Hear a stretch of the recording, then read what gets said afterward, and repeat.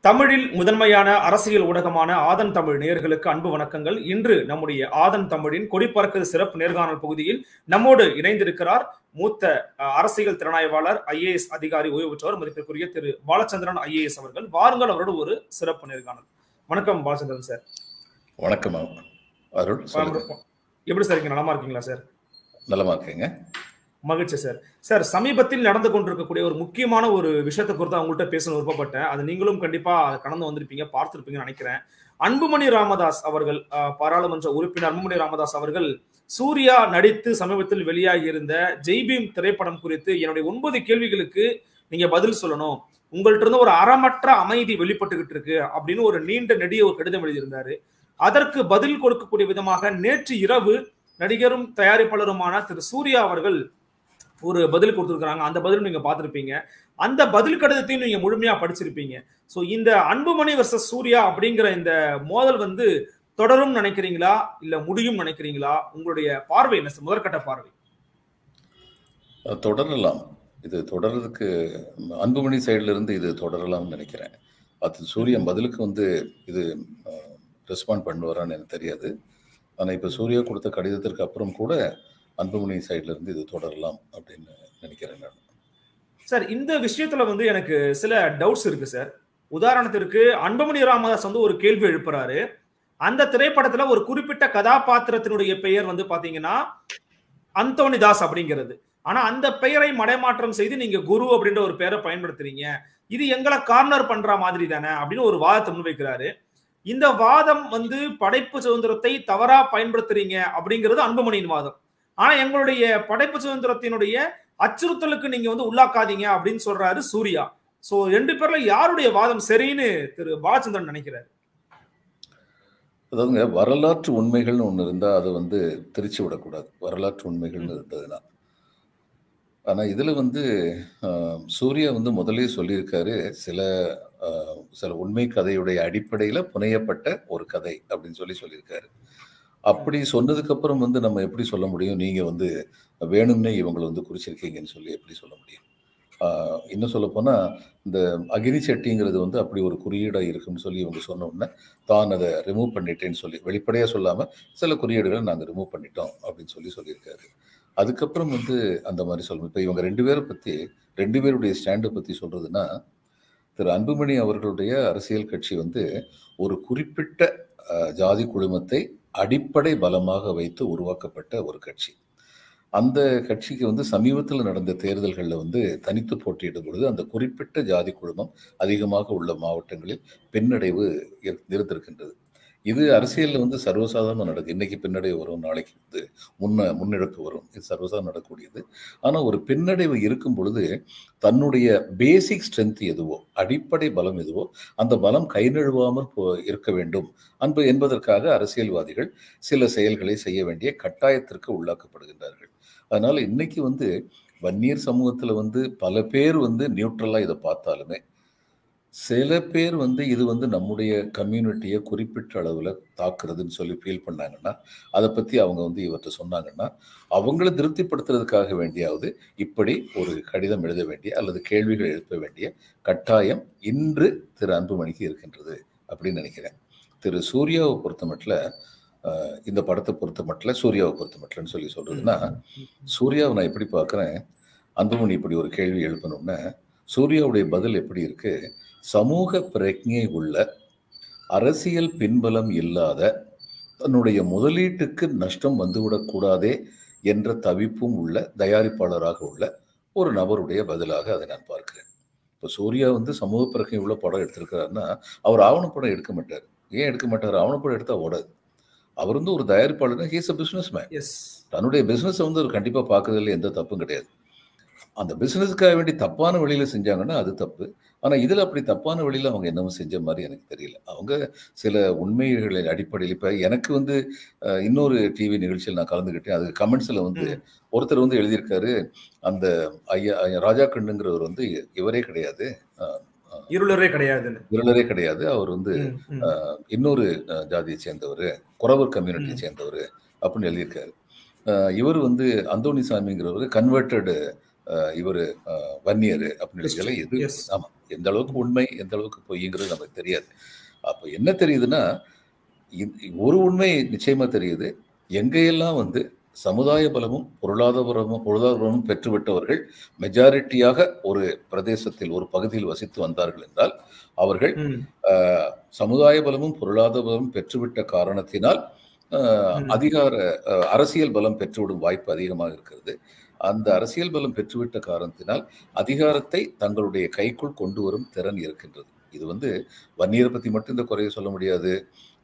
இவங்களை எந்த ஒரு கம்யூனிட்டி எந்த ஒரு இப்ப முஸ்லிம்கள் அதிகமா உள்ள நாட்டுல வந்து மைனாரிட்டி உள்ளவர்கள் வந்து பாதிக்கப்படுறாங்க. பௌத்தர்கள் அதிகமா உள்ள இலங்கையில வந்து மைனாரிட்டி உள்ள தமிழர்கள் வந்து பாதிக்கப்படுறாங்க.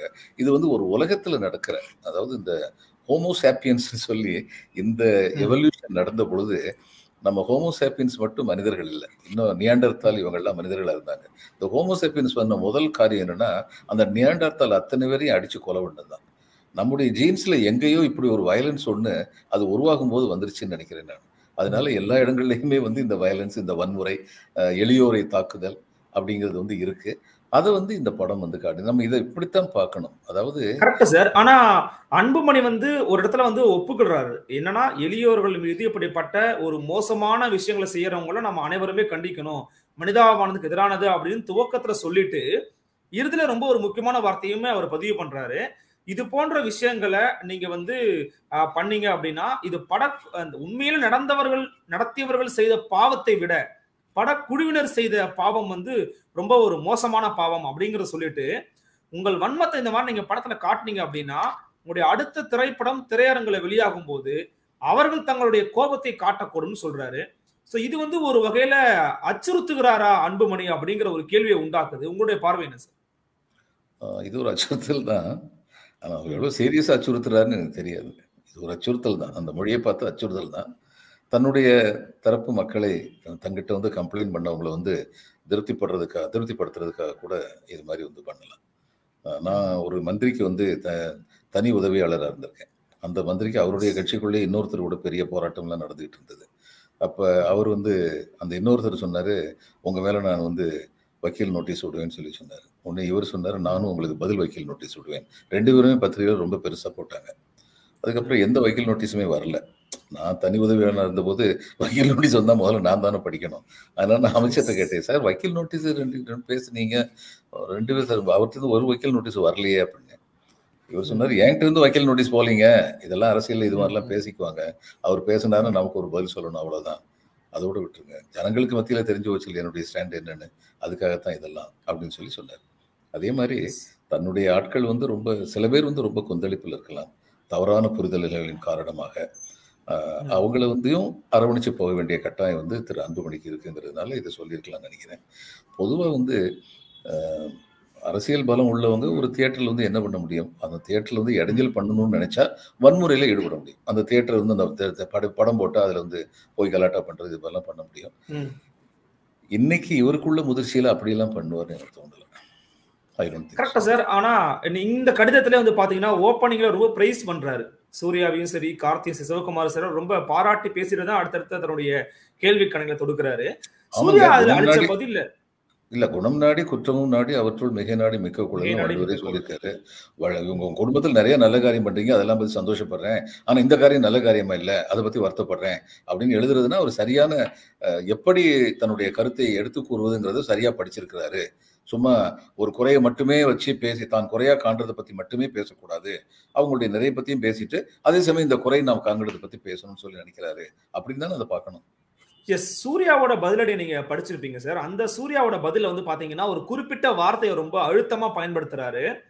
பெயர் அரசியலுக்குள் இந்த விவகாரத்தை சுருக்க வேண்டாம். இது வந்து அதிகாரத்தை நோக்கி அதிகாரத்தை தவறாக பயன்படுத்துபவர்கள் எந்த ஜாதி எந்த மதம் எந்த இனம் எந்த மொழி அப்படின்லாம் இல்லை. அதிகாரத்தை தவறா பயன்படுத்துற நோக்கி நான் கேள்வி எழுப்புறேன். இதை பெயர் அரசியலுக்குள் சுருக்காதீங்க அப்படின்னு கேக்குறாரு. சோ டைரக்டா எதை மீன் பண்றாரு சூர்யா நீங்க நினைக்கிறீங்க சார் இல்ல அந்த இது இன்ஸ்பெக்டர் பேர் வந்து போட்டிருக்காங்கல்ல. இது குருமூர்த்தி. குருமூர்த்தின்னு அதை பத்தி இவரும் வந்து எழுப்பியிருக்காரு அந்த கேள்வி எழுப்பியிருக்காரு. இப்போ அந்த கேள்வி எழுப்பினாரு இதெல்லாம் பாருங்க இன்னொருத்தர் வந்து இந்த நான் இன்னொரு டிவியில பேசினேன் அதில் கமெண்ட் கொடுத்தவர். அப்போ காடுவெட்டி குரு குடும்பத்துக்கு நீங்க என்ன பண்ணீங்க அப்படின்னு இவரை பார்த்து கேட்குறாங்க இது மாதிரிலாம் வரும். ஒரு கேள்வின்னு சொல்லி வந்துருச்சுன்னா. குருமூர்த்திங்கிற பேர் வந்து அது அதாவது ஒரு கிறிஸ்டியன் ஏன் நீங்க குருமூர்த்தின்னு போட்டீங்க?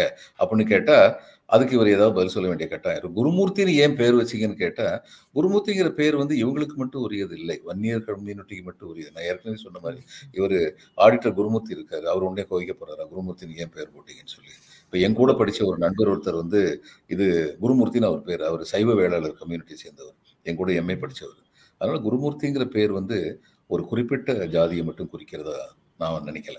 குருமூர்த்திங்கிறதுல இருந்து ஆரம்பிச்சு அதை சுருக்கி குருன்னு சொல்லி ஆரம்பிச்சு அது இவங்களா காடு வெட்டி குருன்னு கற்பனை பண்றாங்கன்னா அது கொஞ்சம் அதீதமான கற்பனையா போகுதுன்னு இல்ல அது வந்து ஒரு அத நொட்டேஷன் தானே எல்லாத்தையும் டாட்ஸை ஜாயின் பண்றாங்கல்ல அந்த எஸ்ஐ வந்து பின்னாடி இருக்கும்போது அந்த அக்னி சட்டி இருந்துச்சு. இந்த மாதிரியான விஷயங்கள்லாம் பார்க்கும்போது அது அவர் தான் அவரை தான் மீன் பண்றாங்கன்னு தானே வந்து அந்த செட்டி முடியும். அந்த அக்கினி செட்டி குறியீடை தான் அவர் எடுத்துட்டாரோன்னு நான் நினைச்சேன் அதை எடுத்துட்டாரு. அதை எடுத்துட்டாரு அப்ப அது ஒண்ணுதானே இவங்களை வந்து குறிக்கிற மாதிரியான வெளிப்படையா தெளிவா குறிக்கிற மாதிரியா அது ஒண்ணுதானே தெரியறது அப்ப. அதை எடுத்துட்டாருன்னா அப்போ ஒரு சென்சிட்டிவிட்டி அவங்க மதிச்சிருக்காங்க அப்படின்னு தான் அர்த்தம் இப்போ இவர் வந்து விஜய் நடிச்ச ஒரு படத்துல இவங்க சன் டிவி வந்து அந்த படத்தை எடுத்திருந்தாங்க இந்த இலவசங்களை பத்தி கொஞ்சம் இது கிரிட்டிக்கலா வந்து அவர் வந்து பேசியிருந்தாரு அதை பத்தி இது வந்த உடனே பெரிய அப்ஜெக்ஷன் பல க அரசியல் கட்சிகள் அதை பத்தி தங்களுடைய ஆட்சேபங்களை சொன்னாங்க. சொன்ன உடனே அந்த எது ஆட்சேபத்துக்குரியதுன்னு நினைக்கிறாங்களோ அதை அவங்க ரிமூவ் பண்ணிட்டாங்க. அதாவது ஒரு படைப்பாளிங்கிறவர் வந்து நோபடி இஸ் பெர்ஃபெக்ட் முழுமையான மனிதர்கள்னு யாருமே கிடையாது. எல்லா விஷயத்திலும் எல்லா நாலேஜும் இருக்கணும். தம்மை அறியாமலும் தவறுகள் நட- நடந்து விடலாம். அல்லது தவறு என்று மற்றவர்கள் நினைப்பது நடந்து விடலாம். அப்போ உடனடி அதை திருத்திக்கிறது அப்படிங்கிறது ஒரு நாகரிகம். ஒரு படத்துல வந்து அஹ், என் அண்ணன் எம்ஜிஆர் நடிச்ச ஒரு படத்துல வந்து நெஞ்சம் உண்டு நேர்மை உண்டு ஓடு ராஜான்னு ஒரு பாட்டு வரும். அந்த பாட்டுல வந்து உண்டு உண்டு என்று நம்பி காலை எடு இங்கு உன்னை விட்டால் பூமி எது கவலை எது கவலை விடு ரெண்டில் ஒன்று பார்ப்பதற்கு தோளை உயர்த்து அங்கு நீதி வரவில்லை எனில் வாளை உயர்த்து அப்படின்னு கண்ணாசன் எழுதியிருந்தார். ம். அப்போ இதுல வந்து இதை வந்து ரொம்ப அப்ஜெக்ட் பண்ணாங்க சென்சார் போர்டில் இது எதுக்கு அப்ஜெக்ட் பண்ணுங்கிறது முதல்ல எனக்கு தெரியல. அதான் அந்த பையனுடைய உணர்வு நீதி வரலன்னா வாளை உயர்த்துவேன்னு அவன் சொல்றான். இவங்க உடனே இல்லை இது நக்சலைடு சித்தாந்தம் சொன்னோன்னே அது அங்கு நீதி வந்து உனக்கு மாலை தொடுக்கும் மாதிரி வரியை வந்து மாற்றி போட்டாங்க. அதாவது ஒரு சென்சாருடைய கட்டாயத்துக்காக பேர் கூட பல சமயங்கள் இது மாதிரி செய்யும் பொழுது வெகுஜன அபிப்பிராயமா வந்து ஃப்ரீ பீஸ் எல்லாம் தப்புன்னு சொல்லி யாராவது சொல்றதை வந்து அப்ஜெக்ட் பண்ணாங்கன்னா சன் டிவி உடனடியாக அதை ரிமூவ் பண்ணிட்டாங்க. அதே மாதிரி இங்கேயும் வந்து இவங்களுக்கு இதுல ஒரு சென்சிட்டிவிட்டி இருக்கு. அது நம்ம தெரிஞ்சு செய்யவும் தெ- தெ- தெரிஞ்சு செய்யல தெரியாமல் செஞ்சோம் அதை நம்ம இமீடியட்டாக ரிமூவ் பண்ணி ரிமூவ் பண்ணிட்டா அதை ஏற்றுக்கணும் உங்களுடைய சென்சிட்டிவ் நான் புரிஞ்சுக்கிட்டேன் அப்படின்னா அதை அவங்க ஏத்துக்கணும் நான் நினைக்கிறேன். எஸ் அதுல சூர்யாவோட பதிலில ரொம்ப ஒரு குறிப்பிட்ட ஒரு வார்த்தையை பார்க்க முடியுது. சார் இதற்கு இதற்கு பின்னால் அரசியல் இருக்கா இல்லையா அப்படிங்கறத நீங்க தெளிவுபடுத்தி நான் விரும்புறேன். நாடு முழுவதிலும் எல்லா தரப்பு மக்களின் பேரன்பும் பேர் ஆதரவும் எனக்கு இருக்கிறது. விளம்பரத்திற்காக யாரையும் அவமதிக்க வேண்டிய எண்ணமோ தேவையோ எனக்கு இல்லை என்பதை பணிவோடு தெரிவித்துக் கொள்கிறேன் அப்படின்னு சொல்லியிருக்கிறாரு. சோ ஏதோ ஒரு வகையில என் பின்னாடியும் ஒரு கூட்டம் இருக்கு. எனக்கும் ஒரு பெரிய மக்கள் ஆதரவு இருக்கு அப்படிங்கறத சொல்ல? வேண்டியதில்லை. இல்ல அப்படி எடுத்துக்க வேண்டியதில்லை. இல்ல சீரியாவுக்கு பின்னாடி ஃபியூச்சர் அம்பிஷன் பொலிட்டிக்கல் அம்பிஷன் இருந்ததுன்னா அதுக்கு இது ஒரு அசிவாரமா இருக்கலாம். ஆனா நான் என்ன நினைக்கிறேன்னா அவர் மறைமுகமா என்ன சொல்ல விரும்புறாருன்னா வன்னியர் குழுமத்திலே எனக்கு ரொம்ப ஆதரவு இருக்கு. என்னுடைய ஃபேன்ஸ் இருக்காங்க. நாடு முழுவதிலும். அனைத்து தரப்பு மக்களிடமும் அப்படின்னு சொல்றது வந்து அப்படி பாசிட்டிவா பார்க்கலாம். அது it is a fact Suriya வந்து இன்னைக்கு வந்து an acceptable actor to all communities இதுல வந்து. கன்னடத்துல வந்து ராஜ்குமார் பாத்தீங்கன்னா காங்கிரஸ் பிஜேபி எல்லாருக்குமே அவர் நெருங்கினவராக இருந்தார். ராஜ்குமார் வந்து. எல்லாராலும் விரும்பப்படுகின்ற ஒரு நபராக இருந்தார். ஏன்னா அவர் அரசியல் கட்சியில கடைசி வரைக்கும் சேரவே இல்லை. எம்ஜிஆர் வந்து திராவிட கட்சிகளை சேர்ந்தவர்கள் தமிழ் திரையுலகத்தை தங்களுடைய கட்டுப்பாட்டின் கீழ் கொண்டு வந்து விட்டார்கள்னு தெரிஞ்சதுனால துளசி மாலையை போட்டுக்கிட்டு இருந்த கதர் சட்டையை கதர் வேஷ்டியை கட்டிக்கிட்டு இருந்த எம்ஜிஆர் வந்து டிஎம்கேல ஜாயின் பண்ணார். ஏன்னா அவருக்கு அது பொழப்புக்கு தேவையா இருந்தது. ஜாயின் பண்ணதுக்கு அப்புறம் தான் அதிகமாக வளர்கின்றோம் என்ற ஒரு நம்பிக்கை வந்தவுடன் அவர் வந்து என்ன பண்ணாரு? சரி நம்ம ரொம்ப நியூட்ரலான பேர் வழி அப்படின்னு எல்லாருடைய அனுதாபத்தையும் எல்லாருடைய ஆதரவும் எடுத்துக்கோன்னு சொல்லிட்டு காமராஜ் என் தலைவர் அண்ணா எனது வழிகாட்டின்னு ஒரு அறிக்கையை ஒன்று விட்டார். அவர் அறிக்கை விடல ஒரு பேச்சுல காமராஜருடைய பிறந்தநாள் விட எது சொல்லியிருக்காரு. பேசும்போது சொன்னார் அடுத்து அவர் அவர் நடிச்சு வந்த படம் வந்து டப்பாவுக்குள்ள போயிடுச்சு உடனடியாக அவருக்கு தெரிஞ்சிருச்சு நம்ம அந்த அளவுக்கு இன்னும் வளரல அப்படின்னு தெரிஞ்ச உடனே அதை மா ட்ராக் மாத்திட்டாரு. ஆனா பின்னாடி ஒரு காலத்துல அந்த அளவுக்கு வளர்ந்துட்டாரு. வளர்ந்த உடனே ஒரு காலத்துல திமுக வந்து கடவுள் பாத்திரங்கள்ல நடிச்சாங்கன்னா தங்களுடைய கட்சி உறுப்பினர்களுக்கு ஷோகாஸ் நோட்டீஸ் கொடுத்துட்டு இருந்தாங்க ஒரு காலத்துல. இவர் தேவருடைய படத்துல முருகனாவே நடிச்சு ஆசீர்வாதம் பண்ணிட்டு போயிட்டாரு. முருகன் கோயிலுக்கு வந்து போய் மருதமலை முருகன் கோயிலுக்கு போய் விளக்கேற்றி வச்சுட்டு வந்துட்டாரு. ஏன்னா திமுகவில் அந்நேரம் அசைக்க முடியாத சக்தியாக வளர்த்துட்டார் அவர் வளர்ந்ததுக்கப்புறம். ஆனால் எவ்வளோ வளர்ந்தாலுமே ராஜ்குமார் மாதிரியான ஒரு பிரபல்யம் எம்ஜிஆர் கிடையாது. இது தமிழ்நாட்டில் மட்டும் உள்ளவங்களுக்கு தெரியாது. ஆனால் ராஜ்குமாருக்கு கர்நாடகத்தில் அனைத்து தரப்பு மக்களுடைய ஆதரவும் இருக்கிறது அது மாதிரிப்பட்ட ஆதரவு வந்து எம்ஜிஆருக்கு வந்து கடைசி வரைக்கும் கிடையாது. அவர் பெருமளவு மக்களால் மிகவும் குறிப்பாக ஏழை மக்களால் மிகவும் விரும்பப்பட்டார். அவருடைய தர்ம சிந்தனையினால அவருடைய தர்ம சிந்தனை உண்மையான தர்ம சிந்தனை. அதுல வந்து எள்ளளவும் காம்ப்ரமைஸ் பண்ணல. விளம்பரங்களுக்காக அவர் தர்மம் செய்தது உண்டு. ஆனால் விளம்பரம் இல்லாமல் அவர் செய்த தர்மம் அதை விட பல மடங்கு. அதுதான் உண்மை. ஆனா அப்படிப்பட்ட எம்ஜிஆர் கூட ஒரு கட்சியில சேர்ந்ததுக்கு அப்புறம் அப்படிப்பட்ட ஒரு நிலை அடையலை. இன்னைக்கு தேதிக்கு வந்து இவர் வந்து சூர்யா வந்து எல்லா தரப்பு மக்களுடைய ஆதரவையும் பெற்று வருகிறார் அந்த குடும்பம் வந்து பல நல்ல காரியங்கள் சத்தம் இல்லாம வந்து செய்றாங்க. சத்தத்தோடயும் செய்றாங்க. சில காரியங்கள் சத்தத்தோடயும் செய்றாங்க. இன்னும் சொல்ல போனா சத்தத்தோட செய்யறதுல பாதி உண்மையை மட்டும்தான் சொல்றாங்கன்னு கூட நான் நினைக்கிறேன். ம். ஆனா சத்தம் இல்லாம பல நல்ல காரியங்கள் அவங்க செய்றாங்க. அந்த குடும்பத்துல சிவகுமார் காலத்துல இருந்து ஆரம்பிச்சு இந்த திரையுலகத்துல இவ்வளவு ஒழுக்கத்தோடு இருக்கிற ஒரு குடும்பம் இவ்வளவு ஒற்றுமையா இருக்கிற ஒரு குடும்பம் ஒரு இதுல வந்து தன்னுடைய தம்பியை வந்து தன்னுடைய இது ஒரு பத்திரிகையாளர் கூட்டத்துல வந்து ஆஹ், இவர் வந்து கொஞ்சம் தள்ளி நிற்பார் கார்த்தி அந்த கூட்டத்துல. சூர்யா வந்து அந்நேரம் வந்து டே இங்க வாடா அப்படிம்பார் அந்த டே இங்க வாடா அப்படிங்கிற வார்த்தையில அந்த குடும்பம் எவ்வளவு பாசப்பிணைப்போடு உள்ள குடும்பம்னு சொல்லி உங்களால பார்க்க முடியும். இந்த காலத்துல அப்படிப்பட்ட. பாசப்பிணைப்போடு சாதாரண குடும்பங்களே அதிகமா இல்ல. இப்படி பிரபல்யமான புகழ் வாய்ந்த குடும்பங்கள் அப்படி இருக்கிறாங்க அப்படிங்கறத பார்க்கும்போது அது ரொம்ப மகிழ்ச்சியான ஒரு விஷயம் இல்லையா? அதனால கரெக்ட் சார் அப்பனா பாலச்சந்திரன் சார் சொல்றது என்ன எடுத்துக்க முடியுதுன்னா அரசியலுக்கு அஸ்திவாரமா எடுத்துக்கலாமா இந்த கடிதத்தை? சூர்யாவோட அரசியலுக்கு அஸ்திவாரமா எடுத்துக்கலாம். இல்லை அப்படி அசிவாரமா எடுத்துக்கலாமான்னு கேட்டிங்கன்னா எனக்கு நான் வந்து எப்படி சொல்ல முடியும்? ஆனால் அவர் அரசியலுக்கு நுழைய பின்னாளில் அரசியலில் நுழைய வேண்டும் என்று எண்ணினால் இன்று அதை சொல்வது அதற்கு ஒரு அசிவாரமாக எடுத்துக்கொள்ளலாம். அவர் அப்படி நினைக்கிறாருன்னு நமக்கு எப்படி தெரியும்? எஸ் சார் இதுல வந்து அன்புமணி சாரோட ஒரு கடிதத்தில் அந்த அந்த கடிதத்தை பார்த்தீங்கன்னா ஒரு- வார்த்தையை நம்மளால ரொம்ப கூர்ந்து கவனிக்க வேண்டியதா இருக்குது. ஏன்னா அது வந்து அன்புமணி ராமதாஸ் பாராளுமன்ற உறுப்பினர் அந்த ஆபீஸ் லெட்டர் பேல தான் அவர் எழுதியிருக்கிறாரு. அதில் ஒரு வார்த்தையை சொல்றாரு சார் வன்மத்தை விதைக்கக்கூடாதுன்னு முடிச்சுட்டு முடிச்சிட்டு மூன்றாவது பக்கத்துல. அதிலும் குறிப்பாக திரைப்படங்கள் எந்த சமுதாயத்திலும் இழிவுபடுத்தப்படக்கூடாது. நீங்கள் விரும்பினால் பெருமை மிக்க உங்களின் கவுண்டர் சமுதாயத்தை போற்றும் வகையில் திரைப்படம் தயாரித்து வெளியிட்டுக் கொள்ளலாம். மாறாக இன்னொரு சமுதாயத்தை படைப்பு சுதந்திரம் என்ற பெயரில் இழிவுபடுத்தக்கூடிய உரிமை இங்கு எவருக்கும் இல்லைங்கிறார். ஸோ ஒரு பாராளுமன்ற உறுப்பினர் வந்து சமூகத்தின் பெயரை சொல்லி இந்த சமூகத்தை இப்படி பாராட்டுற மாதிரி பாராடுங்க உங்களோட பெருமைக்கு சமுதாயத்தை பத்தி பேசுங்க. இப்படின்னு சொல்லக்கூடிய போக்கு அப்படிங்கிறது அறமா அழகா நினைக்கிறீங்களா இல்ல இதுல அறமற்ற செயல்னு எதுவும் இல்ல. அன்புமணி வந்து என்ன சொல்றாரு? எல்லா சமூகத்திலையும் நல்ல குணங்கள் நிறைய இருக்கு. நல்ல குணம் உள்ள. மனிதர்கள் நிறைய இருக்காங்க. அப்படிப்பட்ட உங்க சமுதாயத்தை சேர்ந்திருந்த நல்ல குணம் உள்ள மனிதர்களை பற்றி சொல்வதன் மூலம் உங்கள் சமுதாயத்துடைய பெருமையை பத்தி நீங்க சொல்லுங்க. அதுல எனக்கு எந்த விதமான அப்ஜெக்ஷனும் இல்லை. அப்படின்னு சொன்னதை நம்ம தப்பா எடுத்துக்கிட முடியாது. இன்னொரு சமுதாயத்தை இழுக்க இழுக்குப்படுத்தாதீர்கள் அப்படிங்கிறது யாரைக்குமே அந்த அட்வைஸ் கொடுக்கலாம். எஸ் ஆனா அந்த இந்த படம் கொடுங்க. ஆனா இந்த படம் அப்படி இழுக்குப்படுத்தலைங்கிறது என்னுடைய அபிப்பிராயம். அன்புமணி சார் என்ன நினைக்கிறாரு சொல்லி நான் எப்படி சொல்ல முடியும்? ஆனா இந்த படத்தை பார்த்த மட்டும் இவர் வக்கீலா இருந்தபோது இவர் உயர் நீதி உயர் நீதிமன்றத்துடைய நீதிபதியா இருந்து திரு சந்துரு அவர்கள் அவர்களுடைய கதாபாத்திரத்தின் அடிப்படையில் உண்மையாக நடந்த ஒரு நிகழ்வை பின்னணி பின்புலமாக கொண்டு அதுல வந்து சில கற்பனைகள்லாம் சேர்ந்து இந்த இப்ப பொன்னியின் செல்வன் சொல்லி ஒரு நாவல் வந்து கல்கி எழுதினார். இன்னைக்கு வரைக்கும் மக்களால் மிக அதிகமாக விரும்பி அது வந்து உண்மையிலேயே வந்து சோழர்களுடைய வரலாறா? அதெல்லாம் கிடையாது. சோழர்களுடைய வரலாற்றுல சில அம்சங்களை எடுத்து வச்சுக்கிட்டு அவர் வந்து ஒரு அற்புதமான ஒரு கதையை வந்து. புனைவு எஸ் வந்தியத்தேவன் சொல்லி ஒரு கேரக்டர் யாராவது மறக்க முடியுமா? அந்த வந்தியத்தேவன் வந்து இவருடைய ஆதித்த கரிகாலனுடைய சாவுக்காக வேண்டி சிறைவாசப்பட்டு பட்டிருந்தார்னு சொல்லி சொல்றாங்க. ஆனா அதுக்கு ஆதாரமே கிடையாது. வந்தியத்தேவன் வந்து ச- இது சிறைவாசம் அடைய அனுபவித்தாங்கிறதுக்கு ஆதாரமே கிடையாது. அவருடைய கதைக்கு அப்படி ஒரு போங்கு தேவையா இருந்தது அதனால் எழுதினார்.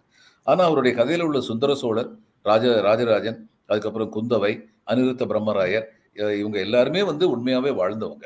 அதனால சில வரலாற்று பாத்திரங்களையும் சில கற்பனை பாத்திரங்களையும் சேர்த்து ஒரு அற்புதமான புதினமா படைச்சாரு. அதுல வந்து அவர் சொல்ல வந்தது என்ன? தமிழர்கள் மேன்மையான நாகரிகம் உடையவர்களாக இருந்தார்கள். அப்படின்னு சொல்லி அவர் வந்து சொல்ல நினைச்சாரு. அதே மாதிரி இன்னைக்கு சூர்யா வந்து ஒரு உண்மை நிகழ்வு அடிப்படையா வச்சு சில கற்பனைகளை சேர்த்து ஆவணப்படமா எடுத்தா நம்ம பணம் வந்து திரும்பி வராது அப்படிங்கிற எச்சரிக்கை உணர்வோட ஒரு நல்ல கதையை புனைஞ்சு ஒன்று எடுத்திருக்கிறாரு. அடிப்படை வந்து என்ன? எங்கேயும் வல்லமை படைத்த வல்லான் வகுத்ததே வாய்க்கால்னு இருக்கக்கூடாது. எல்லாருக்குமே நீதி கிடைக்கணும் அப்படிங்கறதான அடிப்படை. கருத்து. அது ரொம்ப கண்டிப்பா. அந்த கதை அந்த கதையில ஒரு குறிப்பிட்ட சில காட்சிகளை குறிப்பிட்டு அன்புமணி அவர்கள் வந்து கடிதத்தில் குறிப்பிட்டிருக்காரு சார் ஜெய்பீம் கடத்த படத்துல வந்து பாத்தீங்கன்னா இந்த கிராம ரீதியான சில அதிகாரிகள் இருப்பாங்க. அந்த அதிகாரிகள் வந்து செங்கேணி அப்படிங்கிற கதாபாத்திரத்தை நடித்த அந்த பாதிக்கப்பட்ட பெண்ணை வந்து ரொம்ப சாதி ரீதியான ஒடுக்குமுறையான கொண்ட பார்வையோட தான் பார்ப்பாங்க. ஆனா நிஜத்துல வந்து அந்த செங்கேணி அவர்களை காத்து நின்றது வந்து வன்னியர் சமூக மக்கள் தான் அப்படிங்கிறத குறிப்பிட்டு சொல்றாரு அன்புமணி ராமதாஸ். ஸோ இந்த விஷயத்தை பார்க்கும்போது மற்ற எல்லா விஷயங்களுமே குறிப்பா சொல்லணும்னா சந்துரு அப்படிங்கறத கரெக்டா போட்டிருக்கீங்க. பெருமாள் சாமி கரெக்டா போட்டிருக்கீங்க. செங்கேணி கரெக்டா போட்டிருக்கீங்க. ராஜாக்கனு கரெக்டா போட்டிருக்கீங்க. எல்லாத்தையும் கரெக்டா போட்ட நீங்க அதை மட்டும் மாத்துறீங்க. சில கேரக்டர்ஸை மட்டும் மாத்துறீங்கன்னா உங்களுக்கு குறிப்பிட்ட சமூகத்தின் மீது யாரோ ஒருவர் சாதி வெறியை தூண்டணும் அப்படிங்கிறதுக்காக தீனி போடுறீங்கன்ற இந்த குற்றச்சாட்டு? அவருடைய பார்வை அவருடைய பார்வை என்னுடைய பார்வை என்னன்னா டு இல்ல மேக்சிமைஸ் அந்த பார்வையில் நியாயம் இருக்கான்னு கேக்குறேன். அந்த பார்வையில் நியாயம் இருக்கான்னு நான் சொல்லி முடிச்சுக்கிறேன். அவருடைய. பார்வை அது. என்னுடைய பார்வை என்னன்னா டு மேக்சிமைஸ் தி எஃபெக்ட் அதாவது எளியோரை தாக்கும் வலியோரின் வலிமை எந்த அளவிற்கு இருக்கின்றது? நல்லவர்களுக்கு நான்கு பேர் வருவதில்லை உதவி செய்வதற்கு அப்படின்னு அழுத்தம் திருத்தமாக பதிவு பண்ணணுங்கிறதுக்காக கொஞ்சம் மிகைப்படுத்தி ஊரில் யாருமே சப்போர்ட் பண்ணல. ஏற்கனவே நான் சொல்லிட்டேன் சில உண்மை சம்பவங்களின் அடிப்படையில் புனையப்பட்ட கதை அப்படின்னு தான் இவர் சொல்லியிருக்காரு. அப்படி இருக்கும்போது அந்த ஊர் இவர் வந்து அந்த ஊர் தலைவர் வந்து இவர் வந்து வன்னியன்னு காமிச்சிருக்காரு. காமிக்கலையே? அப்ப இவருடைய கருத்து என்னன்னா இந்த மாதிரி அநியாயம் நடக்கும்போது பல சமயங்களில் வந்து ஜஸ்டிஸ் சந்துரு இவர்கிட்ட சொல்லியிருக்கலாம். என்னுடைய அனுபவத்தில் நான் பார்த்திருக்கேன். பல சமயங்களில் நல்லவர்கள் ஒன்று சேர்வதில்லை. ஆனால் கெட்டவர்கள் எப்பொழுதுமே ஒன்று சேர்ந்து விடுகிறார்கள். இது நான் என்னுடைய நிர்வாக அனுபவத்தில் நான் பார்த்திருக்கேன். நல்லவங்க ஒன்று சேரவே மாட்டாங்க. தனித்தனியாக தான் நிற்பாங்க ஆனா கெட்டவங்க நல்லா ஒன்று சேர்ந்துக்கிடுவாங்க. அப்ப இதை இதை இதை வந்து இவர் வந்து அப்ப கெட்டவங்க எல்லாருமே ஒன்று சேர்ந்துட்டாங்க. கெட்ட எண்ணம் உள்ளவங்க எல்லாருமே ஒன்று சேர்ந்து ஒரு நல்லவனை வந்து இந்த மாதிரி படுகொலையில் தட்டுறாங்கன்னு சொல்லி காமிக்கணும்னு சொல்லி நினைச்சிருக்கலாம். இவர் அந்த ஊர் தலைவர்லாம் வன்னியர் அதுன்னு சொல்லி காமிச்சிருந்தாருன்னா அது ரொம்ப பெரிய தவறா இருந்திருக்கும். அப்படி காமிக்கலையே. அப்படி இருக்கும்போது இது இது- நான் நினைக்கிறேன் இது வந்து கொஞ்சம் ஓவர் ரியாக்ஷன் அப்படின்னு தான் நினைக்கிறேன். அந்த அந்த தீச்சட்டி அக்னி சட்டி அப்படிங்கிற அந்த குறியீடு வந்து தவறுன்னு சொல்லி இவங்க சொல்லும்போது அது தவறாக நினைக்கப்படுவதற்கு வாய்ப்பு இருக்குதுன்னு தெரிஞ்ச உடனே அவங்க வந்து அதை ரிமூவ் பண்ணிட்டாங்க. அதுக்கப்புறம் இதை அப்படியே விட்டுறது தான் பெட்டர் நினைக்கிறேன். இது வந்து ஒரு அருமையான ஒரு கருத்தை வந்து சொல்லியிருக்கு. அந்த கருத்து ரொம்ப. அருமையான கருத்து. நான் நிர்வாகத்துல பார்த்திருக்கேன். ஒரு சின்ன உதாரணம் சொல்றேன். இந்த சுந்தர்பென்ஸ் சுந்தரவன காடுகள்னு சொல்றீங்கல்ல நீங்க தமிழ்ல. சுந்தரவன காடு. அது வந்து சுந்தர் பென்ஸ் அப்படின்னு சொல்லி நாங்க வங்காள சொல்லுவோம். அந்த சுந்தரவன காடுகள்ல ஒரு பகுதி வந்து என்னுடைய ஜூரிஸ்டிக்ஷன் கீழே இருந்தது. அங்க நான். அவங்க பெரிய அது வந்து எல்லாமே வந்து தீவுகள். அங்க போறதுக்கே பன்னெண்டு மணி நேரம் ஆகும். அங்க போலீஸ் வயர்லெஸ்ல வந்து எங்களுக்கு நியூஸ் வருது. ஒரு பெரிய பட்டாளமா வந்து மக்கள் சூழ்ந்துகிட்டு இது அஜிடேட் பண்ணிட்டு இருக்காங்க அப்படின்னு சொல்லி. எதுக்காகன்னு சொல்லி கேட்டு அங்க போய் பார்த்தா அங்க போய் பார்த்தது என்ன நினைச்சு அவங்க வந்து சொல்றாங்க எங்க நிலத்தை எடுத்துக்கிட்டாங்க எங்களுக்கு காம்பன்சேஷன் கொடுக்கல. பன்னெண்டு வருஷமா கொடுக்கல. நாங்க சண்டை போட்டுக்கிட்டு இருக்கோம். நான் உடனடியாக வந்து அந்த இது நில சர்வேயர் அதுக்கப்புறம் அந்த லேண்ட் அக்விசிஷன் ஆஃபீஸர் எல்லாரையும் கூப்பிட்டு கேட்டேன் சார் காம்பன்சேஷன் கொடுத்துட்டோம். நீங்க கொடுத்துட்டேங்கிறீங்க அவங்க கொடுக்கலங்கிறாங்க யார் கொடுத்தீங்கன்னு பேரை சொல்லி பார்த்தா யாரெல்லாம் போராடுறாங்களோ அவங்க பேர்ல காம்பன்சேஷன் இல்லை. நான் கேட்டேன் அவங்ககிட்ட ஆமா உங்க பேர்ல அவங்க பேர்ல காம்பன்சேஷன் ஏன் இல்லைன்னு கேட்டா நாங்க அவங்க நிலத்தை எடுக்கலையே அப்படின்னாங்க. இது என்னது இடியாப்ப சிக்கலா இருக்குன்னு சொல்லி நான் வந்து அவங்ககிட்ட வந்து போராடுறவங்ககிட்ட என்ன நடந்துச்சு? அவங்க எல்லாம் ஏழைகள். போராடி இருந்தவங்க எல்லாருமே ஏழைகள். என்ன நடந்துச்சு? உங்களுக்கு வந்து காம்பன்சேஷன் கொடுக்க வேண்டியது எல்லாமே உங்க நிலத்தை எடுக்கலையாமே. உடனே ஐயா நீங்க வந்து பாருங்க எங்க நிலத்தை எடுத்திருக்காங்களா இல்லையா? அநியாயம் என்ன நடந்துச்சுன்னா இதுல வந்து என்ன காமிச்சிருக்காங்க ரெக்கார்ட்ல alignment between A and B ஏக்கும் பிக்கும் நடுவுல உள்ள அலைன்மெண்ட்டை இது இது பண்ணியிருக்கோம் எடுத்திருக்கோம்னு சொல்லி. காமிச்சிருக்காங்க. அந்த அலைன்மெண்ட் யாருடைய அலைன்மெண்ட் அது வசதியானவங்களுடைய நிலம் அங்க இருந்தது.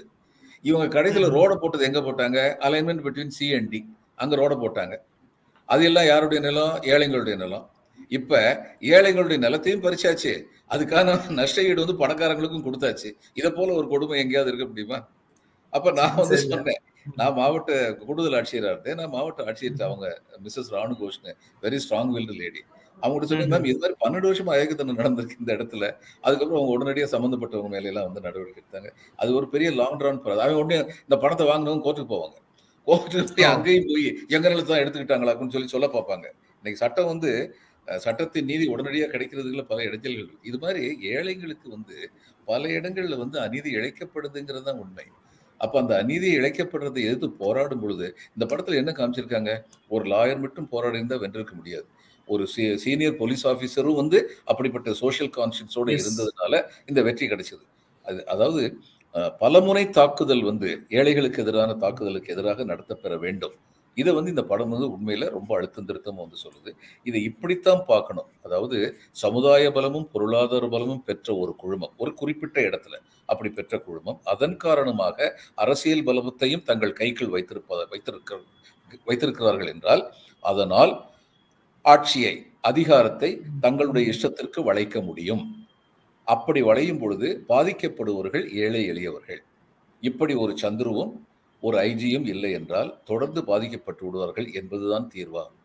சமுதாயத்தில் உள்ள அனைவருமே இப்படி சமுதாய உணர்வோடு இருக்க வேண்டாமா? சப் இன்ஸ்பெக்டர்லேருந்து உதவி ஆய்வாளர்லேருந்து ஆரம்பித்து அனைவருமே இப்படி சமுதாய உணர்வோடு இருக்க வேண்டுமா? வேண்டாமா? என்ற. கேள்விகளை இந்த படம் எழுப்புகிறது. அப்படிங்கிற அளவில் இந்த படம் ரொம்ப நல்ல படம் நான் நினைக்கிறேன்.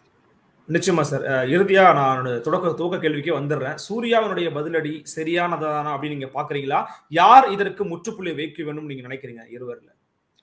இல்ல, இந்த ரெண்டு பேர் பதில் இதோடய விட்டுட்டா நல்லா இருக்கும் அவர் வந்து கேள்வி கேட்டார் இவர் வந்து பதில் சொல்லிட்டார் இதோட விட்டுட்டா நல்லா இருக்கும் திரு அன்புமணியும் இதோட விடுறதுக்கான வாய்ப்புகள் அதிகம். ஏன்னா அந்த குறியீடை எடுத்துட்டாங்க.